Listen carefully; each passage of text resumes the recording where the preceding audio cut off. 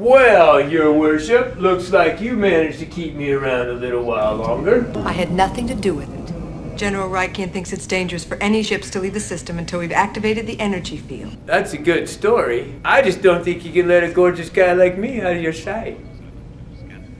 I don't know where you get your delusions, laser brain. Laugh it up, fuzzball.